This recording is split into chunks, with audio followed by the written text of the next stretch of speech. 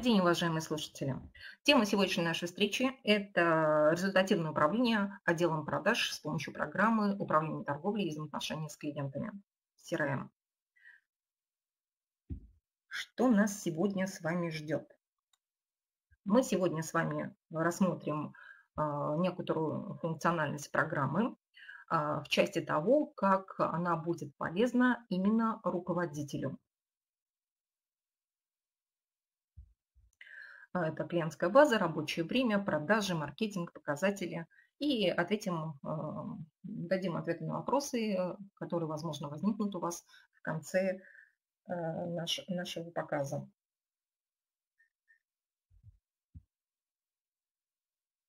Чтобы оставаться на плаву и сохранить клиентов, и, соответственно, деньги необходимо мобилизировать все доступные ресурсы и приложить максимум усилий. А, что делать, чтобы бежать быстрее? Ну, конечно же, один из а, самых а, таких ответов – это внедрить, провести и привести в порядок нашу CRM-систему, которая позволит менеджерам эффективнее работать с клиентской базой, быстрее находить новые заказы и увеличивать продажи, несмотря на сложную ситуацию. Как же вообще в условиях кризиса хорошо провести э, работу по внедрению CRM э, и как это сделать. Вообще есть очень отличная статья, которая проведена на сайте 1С. В принципе, если вы скачаете данную презентацию, то именно на текущем слайде в заметках вы увидите ссылочку на статью. Посмотрите, пожалуйста, идет, там достаточно все интересно приведено. Но вернемся к нашей серии Вообще, а, основные компоненты, которые у нас э, должны быть в CRM-системы, вот они проведены здесь. Это управление контактами, продажами, и данные вот компоненты, они а, были определены еще ранее. И, соответственно, карта текущей а, современной CRM, она несколько шире. Это и веб, и KPI, и все-все-все-все. А, посмотрим, как это все нам помогает непосредственно управление отделом продаж.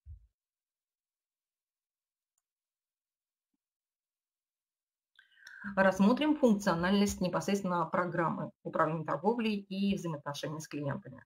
Начнем с непосредственно вот наш как бы, план, а, с чего мы пойдем, а, как посмотрим и проанализируем, как это в работе нам поможет.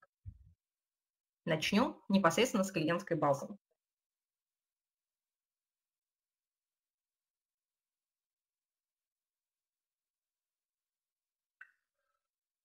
А, любому руководителю очевидно, что в условиях а, нашего такого рынка, когда клиент у нас, у клиентов снижается платежеспособность, вообще недопустимо а, терять большое количество на сбор информации о клиенте. Например, нельзя терять данные о клиентах при увольнении менеджеров. Компания в любой момент э, должна знать, кто является клиентом компании. Ну, соответственно, как показывает вообще практика, что у нас э, информация по клиентам, она вообще разбросана по разным источникам. Бывают такие ситуации, когда даже пришел платеж, а информации по клиенту э, в базе нет. Выясняется через некоторое время, что данный клиент был записан в блокнотике у сотрудника, и только через какое-то время, допустим, через выяснение полудня, а, была такая ситуация на практике, выяснилось, что а, клиент какой-то оплатил. А вообще, как же выглядит наша клиентская база непосредственно в программе. Вот а, как выглядит э, карточка клиента. Мы перейдем непосредственно к самой программке.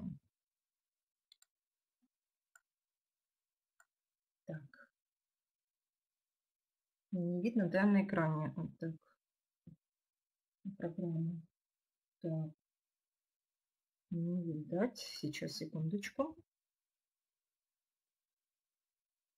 А, вот появилась. А, посмотрим, а, как а, происходит настройка клиентской базы. Во-первых, э, для нас, э, как руководителя, и вообще для руководителей достаточно важно а, построить и наладить э, в карточке самую важную информацию, провести первоначальную настройку. А, карточка открывается через 1С CRM, клиенты. И здесь мы видим полноценно все наши, всех наших клиентов, с которыми мы будем работать. Нам достаточно важно, чтобы эта эти, э, клиентская, вернее, карточка клиентов была настроена правильно. То есть нам необходимо в карточке видеть э, ту информацию, которая нам нужна. Не та, которая будет для нас бесполезна, а именно нужна нам. Поэтому в карточке а, можно произвести соответствующую настройку, которую можно в последующем использовать. Допустим, вообще вот э, в программе она сейчас представлена более расширенно, чем в управлении торговлей мы можем через э, группу дополнительно а, произвести настройку полей, добавить эти поля. Здесь вот я уже, конечно, правда, создала это, это поле, но попробуем создать другие поля. Настроим поля, например. Достаточно все гибко и легко настраивается. Мы можем добавить группу, чтобы у нас, э, вот как здесь вот дополнительно а, была отдельная группа. Попробуем добавить поле напишем не полем, а группу. Добавляем группу и назовем ее, пусть будет Coderline. Готово. И теперь в эту группу Coderline я попробую разместить какое-нибудь поле, которое будет мне, например, важно. А, наименование поля мы можем совершенно для себя в удобном формате представить.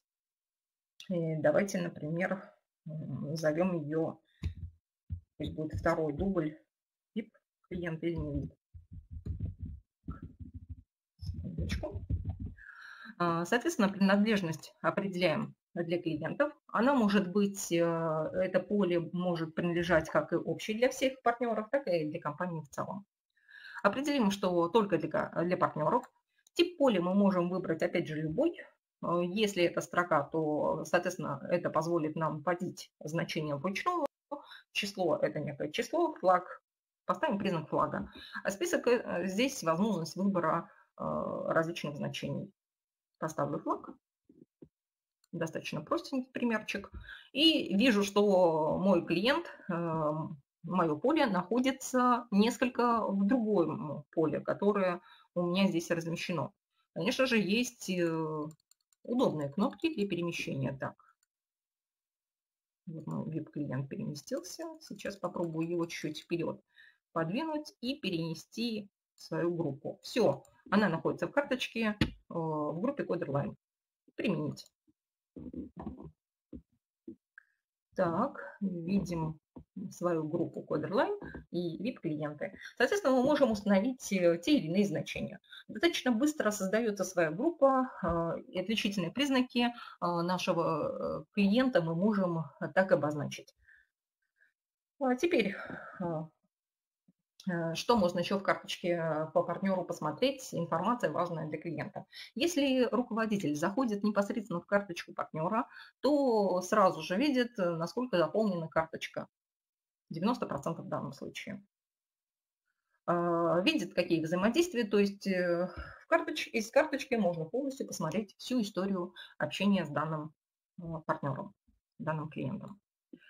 А, также визуально а, в списке клиентов есть информация о том, насколько заполнена карточка. Вот, например, база производственные товары, она не заполнена практически, то есть практически пустая, нет никакой информации. Это как бы визуально мы можем это посмотреть. Но а, пока я немножечко отвлеклась по заполняемости карты, есть возможность непосредственно из списка, вот мы с вами создали поле, мы можем как обычно, выделить несколько, использую клавишу Shift, либо использую клавишу Ctrl и поставить, эм, изменить выделенные. Допустим, установить э, текущие значения по тому полю, по которому я сейчас только что, который только что создавала. Это вид клиента, например. Мы можем поставить флажок и назначить значение. Поставлю «Да». Так, мы быстренько изменили и поставили значение, которое нам необходимо. Готово. И, соответственно, уже по а, данному полю мы можем сформировать некий отчет. Опять же, этот отчет мы можем увидеть непосредственно из раздела 1С CRM. Мы будем оперировать сегодня им. И а, клиенты продажи, отчеты по клиентам. посмотреть анализ клиентской базы. И вот именно вот текущие настройки мы можем э, применить в настройках самого отчета. Например, в данном случае можно попробовать э, добавить колонку, так, прочие поля. Найдем наше поле, которое мы с вами добавляли, дополнительной информации по клиенту и выберу view клиента клиента. Все, добавила колонку, нажимаю кнопочку «Сформировать». Не буду никакой градации пока делать, поскольку отчет достаточно гибкий, настраиваемый. И, соответственно, а, анализ клиентской базы можно провести а, в том формате, в котором будет удобно а, для руководителя и читабельно.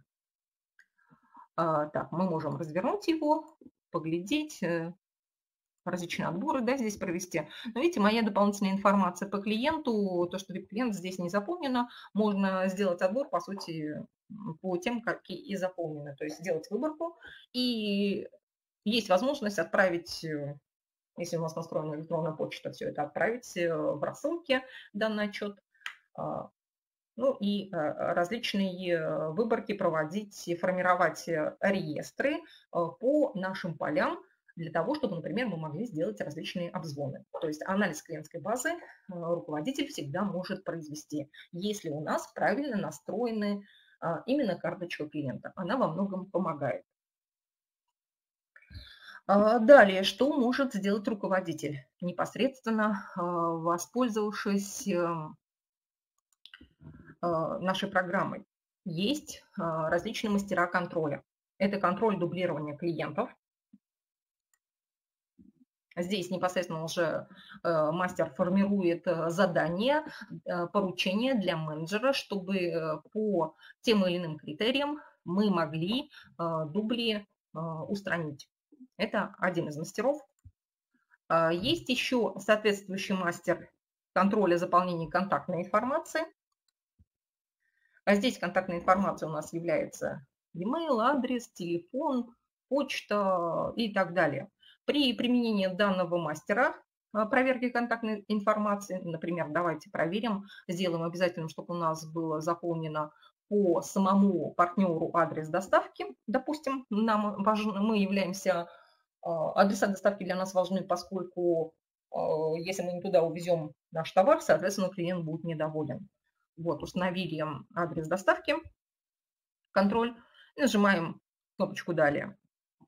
Вот он у меня сформировал полностью весь список. Мы можем, э, конечно же, выбрать тех клиентов, которые нам важны, а, выборку сделать по некоторым клиентам. Мы сейчас не будем этого делать. Нажмем кнопочку еще раз «Далее». Так, э, здесь же опять же ответственный э, по менеджеру. И что здесь, а, проводит, а, что здесь э, проходит э, в этом окошечке? Здесь мы с вами можем поставить дату исполнения нашей задачи. То есть по тем клиентам, у которых э, отсутствует контактная информация, которую мы определили на первой странице, будут созданы задачи. Давайте поставим исполнением текущую дату. 28.07. А даты контроля, как руководителя, будет, например, 30.07. А, можно связать с проектом, соответственно. Ничего пока тоже не будем связывать с проектом. Нажмем кнопочку «Далее». Все, исполнителем будут сформированы задачи. Нажимаем «Да». А, и вот как раз информ... Э, система информирует о том, что не назначен ответственным менеджером. Мы можем назначить сразу исполнителя. Возьмем нашего любимого сотрудника, который у нас сейчас открыт, это Федоров. Поставим его как исполнителя. Формируется поручение, база большая, запустила, конечно, вот э, найдено, что 175 клиентов, и, соответственно, он создал задачки. Заполнил, что необходимо заполнить контактную информацию по а, тем или иным сотрудникам. Исполнителей поставил. Все хорошо. Задачи созданы. То есть э, руководитель таким образом достаточно оперативно и быстро создает задачи для своих э, сотрудников. А, ну, а, задачи созданы, а надо же их проконтролировать. Есть, опять же, отчет. Открывается он через э, клиенты и продажи, отчеты по клиентам. Вот он у меня ладно открыт уже. Здесь есть анализ задач по проверке клиентской базы. И здесь мы можем с вами проанализировать, что у нас происходит э, с задачами по клиентской базе, а, какие задачи требуют исполнения, закрыты они, не закрыты. То есть при необходимости, по сути, можем вывести любую информацию, которая требуется по задаче. То есть срез для контроля также есть. Но помимо данного отчета мы можем воспользоваться и непосредственно рабочим местом. То есть у нас здесь есть, э, как обычно, у нас открывается рабочее место. Если же оно вдруг не открыто в программе, то рабочее место можно открыть через один из CRM рабочий стол. Открывается рабочий стол, в котором мы можем посмотреть а, текущие мои задачи, например. Если же у нас а, мы являемся руководителями, настройки проведены таким образом рабочего стола, что мы видим а, полностью, то есть руководитель, по сути, он всегда видит задачи не только свои, но и своих подчиненных. Поэтому а, мы можем посмотреть как в градации мои задачи, так введенные мною, и, соответственно, контролировать а, выполнение данных задач непосредственно уже из рабочего стола. То есть вариаций для контроля достаточно много выполнений. Ну, соответственно, здесь есть выборка все. Мы можем при необходимости, если видим, что у нас сроки задачки срываются, перенаправить какому-нибудь из сотруднику. То есть инструменты достаточно такие весомые. Можем посмотреть, что в задаче у нас написано, а к, какому, а, к чему привязана задача. В данном случае у нас сразу же открылся документ «Интерес», а, к которому привязана текущая задача. К этому мы вернемся чуть-чуть попозже. Так, то есть вот анализ задач достаточно важный инструмент для работы с клиентами. Но есть еще другой контроль заполнения свойств клиентов. И как раз вот это свойство клиентов – это те свойства, которые мы с вами добавляли. Не буду его полностью проводить, э, данный анализ, просто покажу, что вот табличка, э, по которой мы можем провести также э, контроль заполнения и сформировать задачи, которые нам необходимо будет проконтролировать по нашим сотрудникам по заполнению карточки. А заполнение карточки, оно достаточно а, важно. Чаще бывает так, что наши сотрудники, наши менеджеры забывают внести, внести информацию. Пришло письмо, например, а, был звонок, а, а контактную информацию, с кем поговорили, чего в карточку не занесли. Этим грешат достаточно много сотрудников, менеджеров. А, как с этим бороться? Это, опять же, проводить такой анализ и, соответственно, а, чаще всего помогает практика как бы ругать сотрудников э, на планерке. Ну, то есть либо индивидуально. Конечно, зависит от э, характера менеджера, от его темперамента. Некоторых не поругаешь э, прилюдно, а некоторых и стоит. То есть наш анализ, который мы проводим, программе, он помогает проводить работу а, с менеджерами, работу с менеджерами в части того, чтобы они заполняли карточку. Так, хорошо. Э, с контактной информацией мы с вами разобрались. Вернемся к нашему, нашей демонстрации. А, теперь же одним из важных факторов является эта история отношений с клиентами. А, для чего вообще историю вести взаимоотношений нам нужно? А, для того, чтобы выстраивать взаимоотношения долгосрочные с клиентом. А, когда достаточно глупо получается, выглядит и получается ситуация, когда мы не помним о том, а, о чем говорили с клиентом. Когда, допустим, сотрудник ушел в отпуск, либо что-то пообещал. Порой даже сам сотрудник не помнит, э, что он должен сделать, потому что поток информации достаточно большой, и важно самое э, правильно закрепить информацию. Как это можно сделать в программе? Переходим обратно в нее. Возвращаемся. Самым важным в данном случае для нас является, секундочку, я закрою окна. А у вас пока окошечко появится. Я пока закрою окна. Вот у вас появилось, а я здесь окна закрывала. Так, э, когда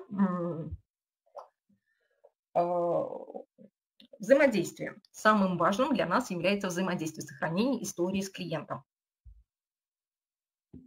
Вот находится взаимодействие. Все взаимодействия, они вот в списке взаимодействий. Но если взаимодействие привязано к нашему а, процессу, к нашему документу интерес, то, соответственно, оно будет участвовать там. Взаимодействие может быть а, та же самая встреча, и вот опять же обращаю внимание, что открывается э, тот, э, та сделка, то есть интерес, э, по которому мы с вами проводим работу. И открывается взаимодействие. Здесь оно э, представлено в виде встречи с клиентом в нашем офисе. Но взаимодействие может быть не просто встреча, а может быть и просто телефонный звонок, электронная почта, либо некий диалог э, в Телеграме, WhatsApp и так далее. А здесь оно открылось маленьким окошечком мы можем посмотреть другие параметры. И вот видим, что взаимодействие, оно а, представляет собой документ, в котором достаточно много важной информации нужно занести. И действительно не упустить те моменты, которые нам необходимы. А, по сути, данный документ является также неким чек-листом, который мы должны пройти, чтобы организовать нашу встречу. Достаточно все это важно. А здесь мы видим, например, кто из нашей, э, с нашей стороны будет участвовать, допустим, в этой встрече. И, соответственно, мы можем провести анализ того, кто участвует, кто а, придет, кто не придет, и, соответственно, при необходимости произвести замену. Сторонние лица точно так же примут участие или не примут участие, описание встречи.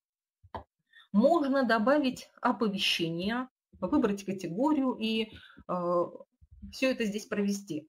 А, при необходимости добавить тег. А, тег достаточно удобно бывает, если у нас э, будет некая градация. То есть мы для себя определили, что наши взаимодействия будут подразделены на некоторые категории, по сути. И, соответственно, по этим категориям мы в последующем можем а, проводить некую, некий анализ того, какие же взаимодействия у нас были. Помимо того, что это телефонный звонок, встреча, а, дополнительные как бы а, деления. Так, ну, соответственно, здесь мы а, можем указать, какое оно состояние. И вот этого, конечно, у нас не любят делать наши сотрудники. Эти взаимодействия они не вносят. В итоге мы можем потерять клиентов из-за этого, соответственно, здесь приходится требовать э, заполнения. Так, взаимодействие может выглядеть таким образом. Но есть еще интересный такой механизм, ну, конечно, интересно и достаточно используется часто, это когда наше управление торговлей и взаимоотношениями с клиентами интегрировано с IP-телефонией. Соответственно, у нас э, формируется реестр телефонных звонков, привязываются к той или иной, а, к тому или иному интересу, мы можем его а, подвязать. Соответственно, мы видим, кто к нам звонит, обычно софтфон, а, интегрируется с данным продуктом достаточно хорошо. Мы видим, кто к нам звонит, э, тут же подтягивается номер, э, формируется документ входящий, как только мы нажали на кнопочку. И, соответственно, мы здесь просто для себя указываем комментарий, а, по какому интересу а, звонит данный клиент, либо мы сами можем производить тоже обзвон. То есть мы фиксируем, о чем мы, наши договоренности. Они достаточно для нас важны. Соответственно, после того, как мы провели всю фиксацию данных, а, провели, а, зафиксировали звонки. Также в системе, упустил немножко момент, есть возможность фиксации диалогов а, с различных каналов. Это может быть как ВКонтакте, так и Инстаграм и Телеграм и все возможные каналы. Э, настройка производится достаточно просто, поскольку уже в программе данные настройки предусмотрены, поэтому интеграция не а, предоставляет особых затруднений. Соответственно, опять же, этот диалог который у нас настроен в программе, мы можем автоматически, а, принимаем обращение, при необходимости его тут же переадресовываем а, другому сотруднику и, соответственно, а, можем связать его с интересом. Таким образом, взаимодействие через диалог также у нас э, фиксируется. И не нужно выходить, э, переходить из программы в программу, что-то делать, все в одном окне. Ну, по сути, в одной программе вы сидите и работаете. А, все зафиксировали. Ну, как, бы, как же руководитель а, посмотрит, э, как у нас происходят встречи? Как же он проконтролирует? Опять же, у нас есть отчеты, отчеты по взаимодействиям. Здесь мы можем посмотреть анализ встреч, кто чего. Там, э, здесь идет в разрезе подразделений менеджеров, опять же. Э, настройки проводятся в отчетах. Ну, соответственно, мы видим, кто чего как описал, на какой стадии, что здесь, какой тип услуг оказывается, состояние какое и что мы должны на этой встрече провести. Также мы с вами а, э, в этом же анализе встреч можем посмотреть анализ выполнения, сколько по времени оно занимает. То есть э, можем задать также планово для сотрудника встречи, запланировать и при этом потом проанализировать факт. То есть, э, допустим, назначили ему как KPI встреч 10 в месяц, а, соответственно, потом анализируем факт, насколько у него а, получается совместить план с фактом. Ну, это как э, некий анализ. Либо просто хотя бы даже здесь мы проводим просмотр, контроль описания мероприятий. Как описывает сотрудник. Ну, например, исходя вот из практики, у меня была а, такая ситуация, когда на линии консультаций обратили, обратился клиент, а мой сотрудник занес информацию о том, что а, проконсультировал по вопросам. Хорошо, записано, проконсультировал по вопросам. На вопрос э, встречный о том, что проконсультировал по каким вопросам, он уже не смог через неделю дать никакого ответа. Соответственно, никакой аналитики, э, с чем обратился клиент, э, я сделать не смогла. Да, запись вебинара ведется. Вот, соответственно, нам поэтому важно именно еще и содержание наших взаимодействий. Так, отчеты по взаимодействиям, например, анализ мы смотрели. Есть еще и другие отчеты. А, взаимодействие и задачи по интересам.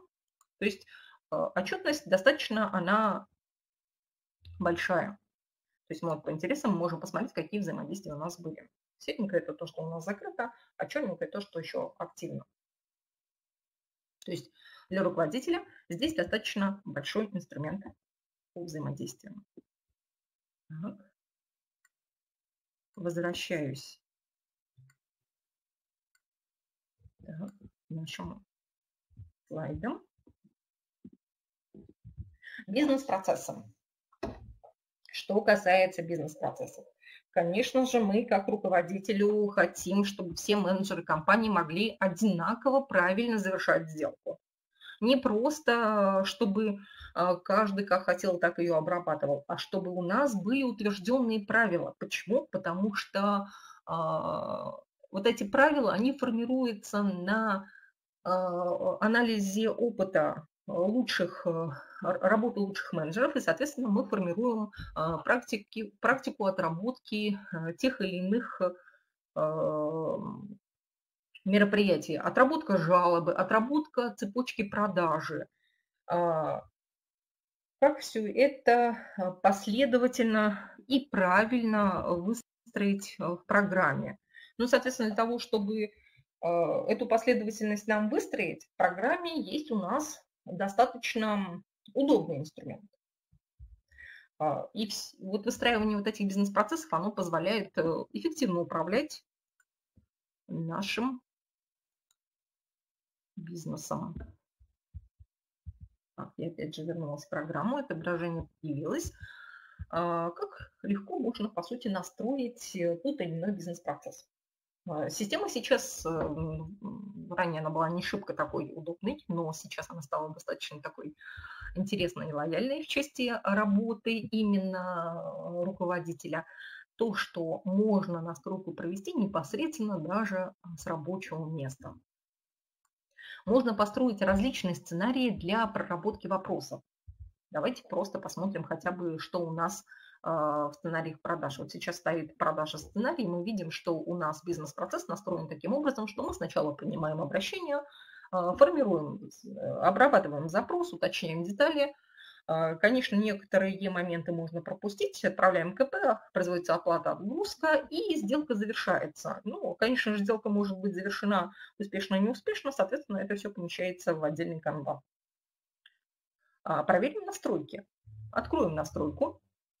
А настройка нам покажет, как организован этот бизнес-процесс что мы можем э, сюда занести. То есть здесь мы настраиваем а, соответствующие настройки и указываем, что у нас является обязательным. То есть в каждой настройке запроса есть поля, которые мы можем оформить как обязательные к заполнению и без заполнения которых, либо без действия а, некоторых, мы не можем перейти, например, к следующему шагу. Здесь все вот эти настроечки можно провести. Вот, допустим, у нас а, завершение дел стоит, допустим, в данной задаче, что он запросе не завершать автоматически, мы можем завершить наше действие каким-то взаимодействием, личной задачей и так далее. То есть а, система а, построения бизнес-процессов нам помогает построить такой сценарий, чтобы нам было удобно работать. Также в этих настройках, помимо того, что мы проводим настройку и э, фиксируем обязательные поля, мы можем прицепить некие триггеры. Тот же самый триггер – это запланирование планирование взаимодействия. Сейчас я на настройку нажму. Что такое триггер? Это а, действия сотрудников, действия менеджеров, э, которые происходят многократно, и чтобы не проводить их э, а, допустим, зайти в такой-то пункт меню, нажать на такую-то кнопку, а, менеджер может просто, как бы, вернее, программа сама сделает действие за менеджера. Она просто сформирует уже взаимодействие, запланирует и откроет нам его. Удобно? Достаточно удобно. Оно сэкономит время. То есть все вот эти действия, которые могли бы сэкономить время менеджера и направить их на, а, например, на более эффективную работу, они можно здесь настроить. Можно упростить данный сценарий. Например, у вас э, могут быть два направления. Это продажи по, по полному сценарию и продажи по краткому сценарию. Когда у вас только происходит обращение, то есть наши старые клиенты обратились с запросом, хотят купить, э, хотят приобрести что-то. Ну, соответственно, мы же не будем а, через всю цепочку продаж а, прогонять их. Мы просто-напросто выставляем счет, отправляем и отгружаем. Вот и все. То есть эта настройка бизнес-процессов также в программе реализована. Так, далее.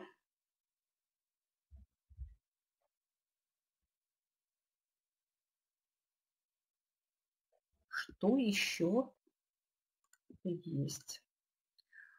Также э, достаточно важно э, для работы, для нашей работы, это воронка продаж.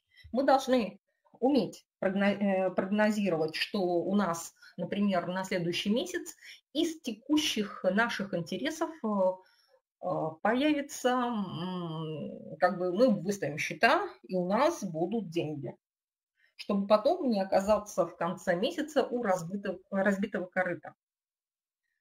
А как же этот инструмент выглядит в программе?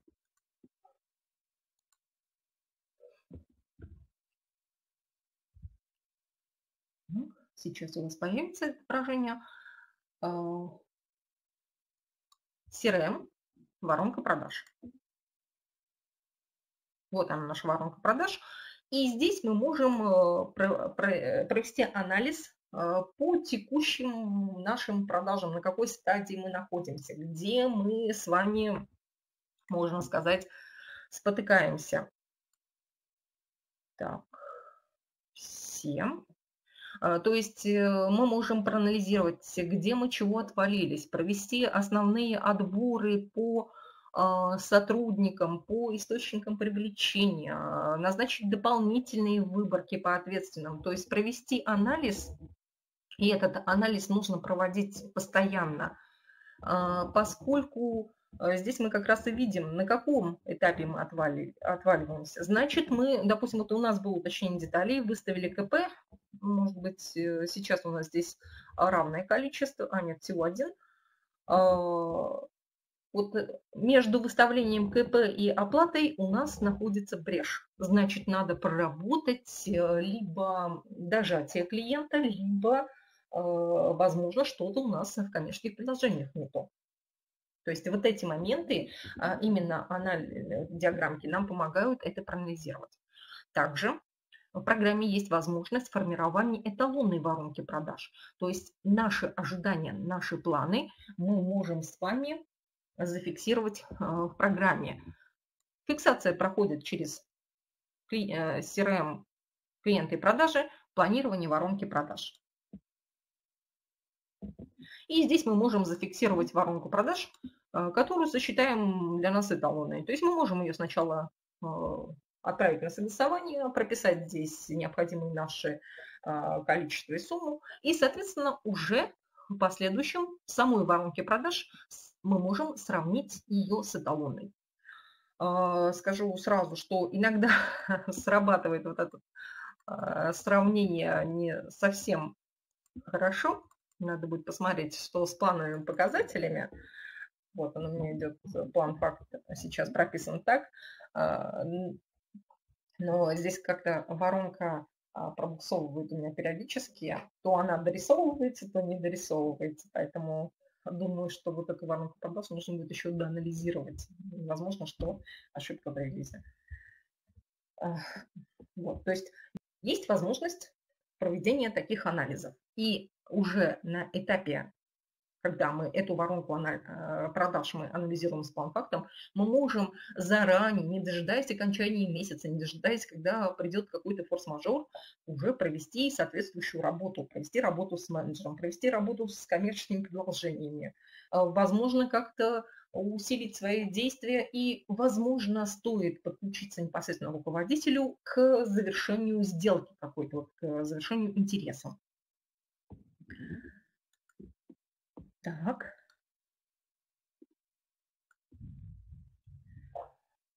Достаточно важным для руководителя является отслеживание от э, того, сколько денег мы вкладываем в рекламу. То есть не сам, конечно, факт вложения в рекламу, а именно отдача от вложения. И, соответственно, после этого мы определяем, а стоит ли вкладывать средства ту или иную рекламу.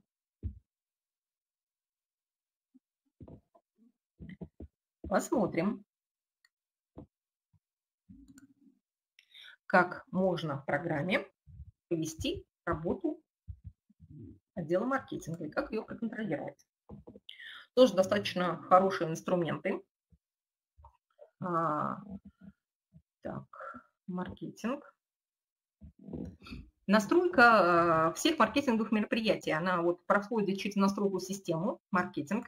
Сами маркетинговые мероприятия мы задаем через маркетинг, маркетинговые мероприятия. Так, это мои задачи-напоминалки, которые мы с вами создали, ранее появились. Вот мои маркетинговые мероприятия. Здесь я заношу, вернее, отдел маркетинга заносит те маркетинговые мероприятия, которые проходят в компании. Задаются бюджеты, плановые суммы продаж, э, какое направление, э, ставится ответственное подразделение, важность, э, что статус в работе. Мы можем построить план проекта, то есть прописать, кто за что отвечает, из чего состоит мероприятие, и, соответственно, закрывать эти стадии проекта. Ну, то есть, и, соответственно, также проводить оценку того, сколько проект это у нас занимает э, денег, по сути.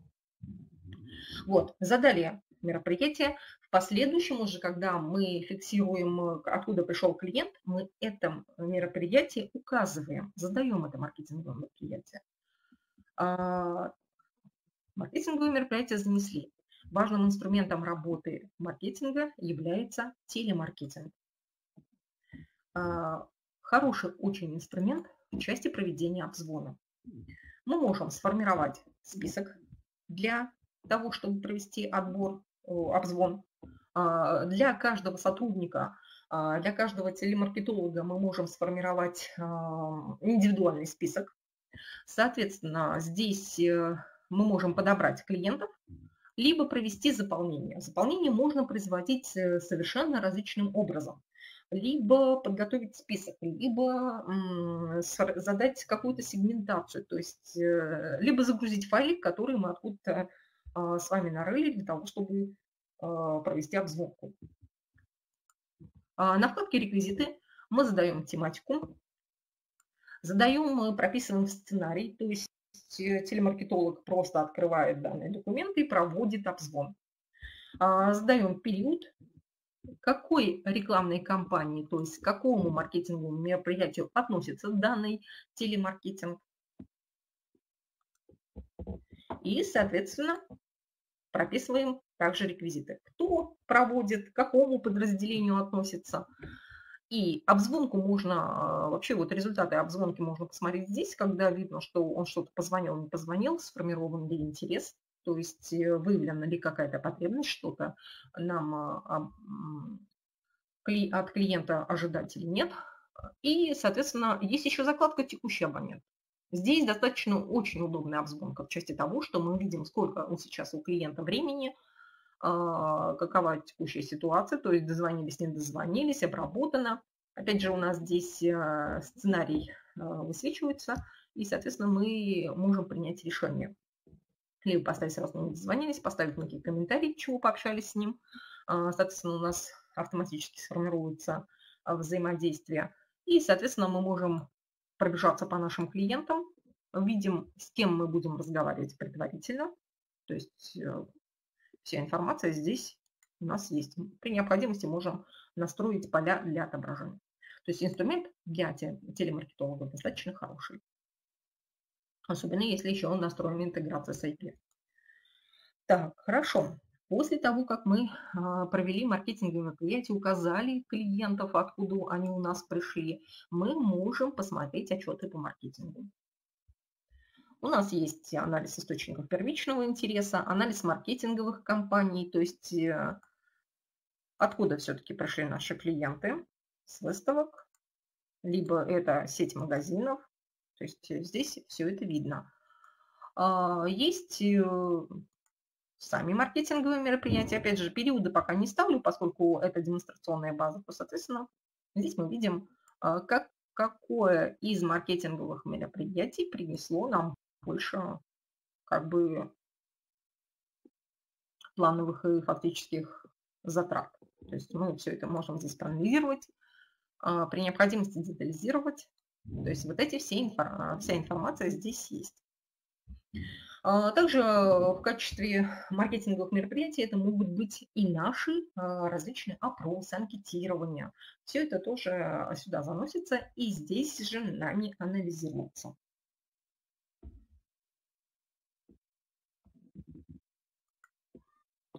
Так, возвращаемся.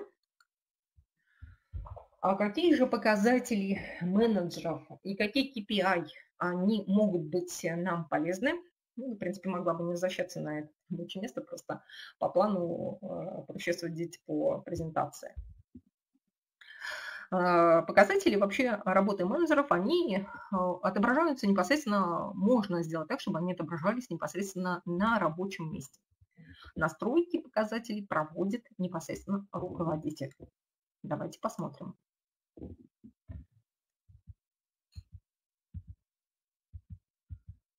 Так, сейчас отобразится. А, соответственно, настройки можно провести непосредственно через рабочий стол.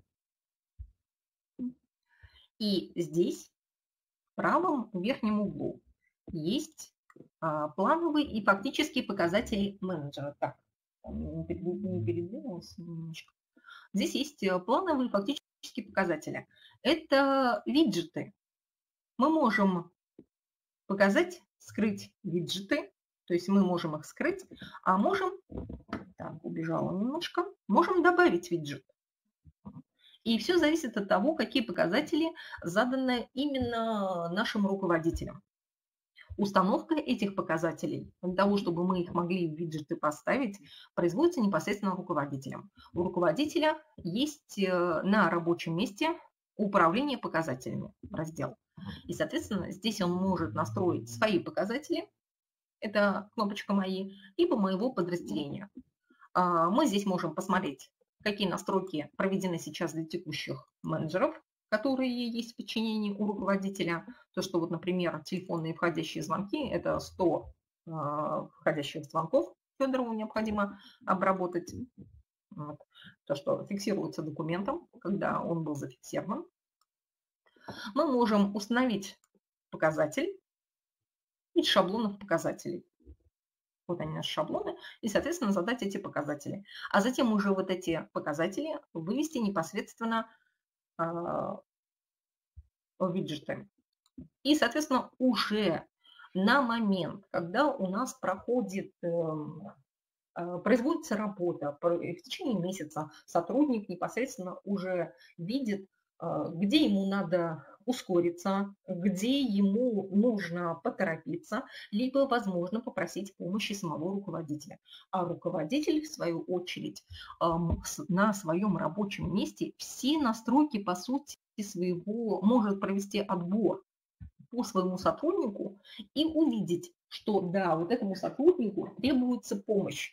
И как бы он э, проводит либо индивидуальную встречу, либо, возможно, а, видя, что а, мы можем посмотреть на, допустим, мои дела, здесь он может отфильтровать по своим сотрудникам и увидеть, что этот сотрудник перегружен, задач у него много, посмотреть календарь своего же сотрудника и посмотреть, что у него там по встречам, и, соответственно, принять управленческое решение. Что же что нужно сделать для того, чтобы помочь своему сотруднику. Ну, здесь есть ресурсы, правда, здесь меня ничего не заполнено в текущий момент, поэтому оно здесь пустое. Вот. А, то есть это все принима, а, все решения принимаются здесь. И все это контролируется аналитическими отчетами аналитическими отчетами, которые, опять же, есть в системе. Это вот отчеты по клиентам, отчеты по взаимодействиям и другие масса отчетов, а, которые мы можем посмотреть. Проекты сегодня мы не рассматривали, отчеты по проектам тоже как бы не смотрим. Так, вернусь к своей, к своей презентации. Вот. Что мы можем с помощью этих отчетов получить? Мы можем оперативно принять решение по конкретной ситуации. Это вот я уже вам говорила, то, что, например, увидели, что сотрудник э, достаточно неполно обрабатывает э, информацию, значит, э, подсказать ему, в чем у него там засада. А чем еще хороши отчеты? Тем, что эти аналитические отчеты помогают нам, э, мы можем сформировать, например, отчет по взаимодействиям и увидеть, что мы должны, допустим, вот завтра, вернее, не завтра, а, например, два, через два дня предоставить коммерческое предложение нашему самому э, крупному клиенту. Однако, судя по ситуации, которая происходит у нас, мы видим, что мы отстаем, что, допустим, у нас э, коммерческая, э, как бы задаем вопрос менеджеру, а что там у нас происходит, а он говорит, что я не успеваю. И чтобы вот таких ситуаций, когда мы уже по факту получили, вот сегодня пришел день, когда нам надо уже сдать, отправить коммерческое предложение, а оно у нас не готово, не происходило, нам и нужны вот эти аналитические отчеты. Нам проще будет позвонить клиенту и сказать там, Иван Иванович, мы, да, вот э, просим извинить, но у нас э, там, допустим, какое-то э, технический, техническое задание не согласовано еще у специалистов. Мы как бы просим дать нам отсрочку до такого-то этого. Либо клиент нам скажет, что нет, нам срочно надо, значит, мы подключим дополнительные ресурсы и предпримем какие-то усилия. То есть вот эти отчеты как раз и помогают нам для работы с клиентами. И, как обычно, проще ситуацию при, предотвратить. И клиент останется лояльным, чем нежели получить негатив уже постфактум. Ну, соответственно, опять же, Аналитические отчеты позволят сделать некую выборку по клиентам, отправить нам звон, допустим, поздравить с днем рождения, подготовить некую рассылку, ну и так далее. То есть проводить различные срезы по продажам можно будет тоже по этим отчетам. То есть именно эти аналитические отчеты позволяют принимать управленческие решения и вовремя прореагировать на работу наших сотрудников. Потому что именно наши сотрудники, наши менеджеры и помогают нам продавать. Это кратко то, а, чего я хотела вам сегодня показать и рассказать. А, есть ли у вас вопросы? Может быть, э, сегодня не озвучивались э, некие моменты, то есть не, не было остановок на некоторых моментах работы в программе. А, возможно, у вас есть пожелания в части проведения показов и вебинаров э, на основании неких кейсов. Вот, было бы полезно от вас услышать обратную связь. Есть ли вопросы?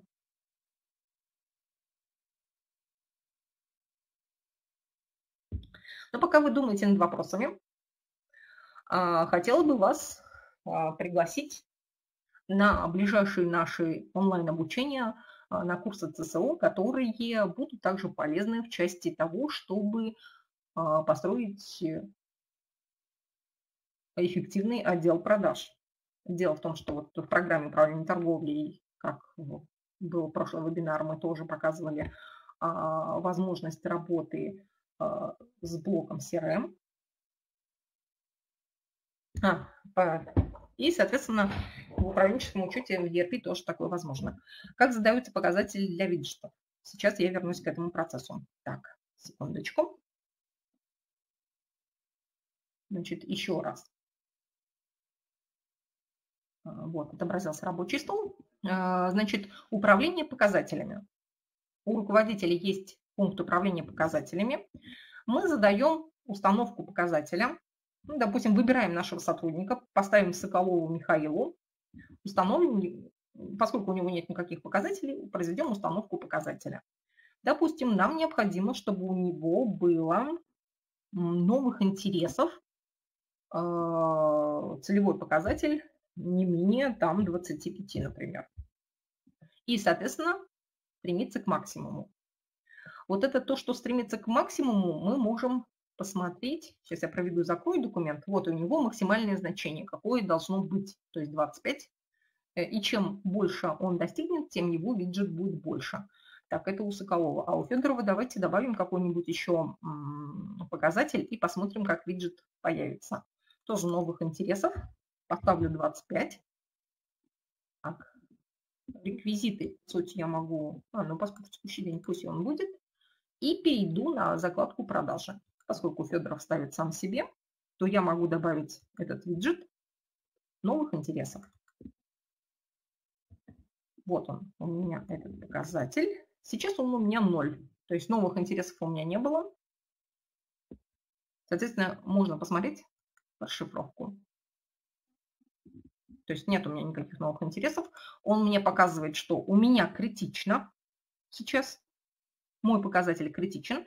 Если было бы все хорошо, то он бы был в зеленом.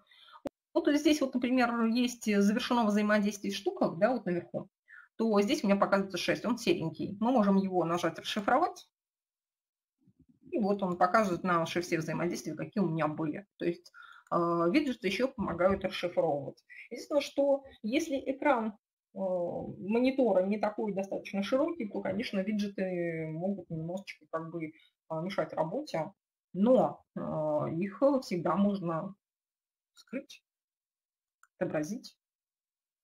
То есть мы можем их скрыть и отобразить. То есть достаточно кнопочки а, воспользоваться кнопками. Вот. Есть еще вопросы?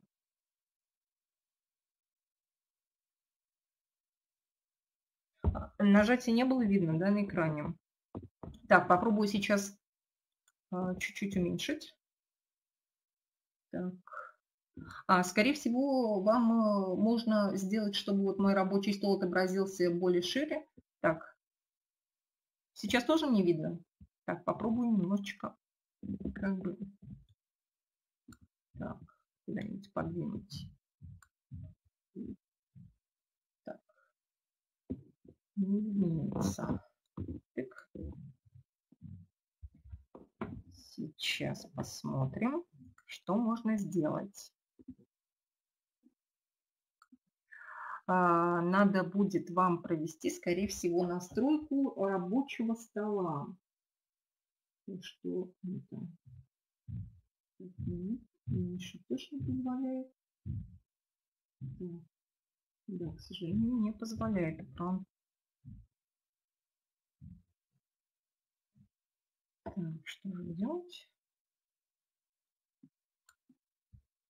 Так, тоже у меня он показывает только самый большой этот. Да, к сожалению,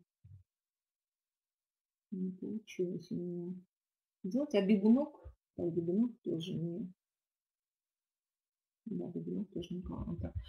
так, сейчас я попробую тогда немножко следующее сделать. Сценарий уберу.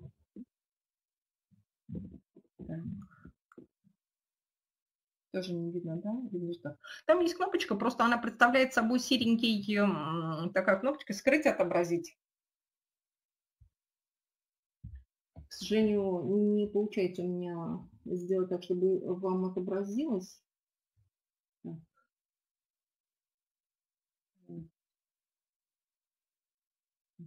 Так, тоже, к сожалению, не видно. Ну, в общем, он в самом правом углу. Поверьте мне на слово, в программе можно это настроить. Так, есть у вас еще вопросы?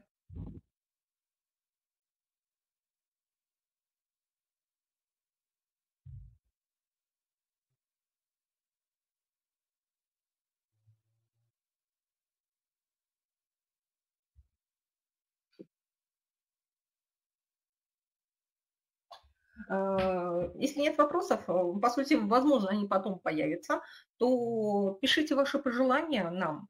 Мы проведем еще ряд встреч э, по CRM. Тема достаточно интересна, а как в программе воспроизводить чего, мы тоже вам покажем. От вас только пожелания. Благодарю вас за посещение вебинара и до новых встреч.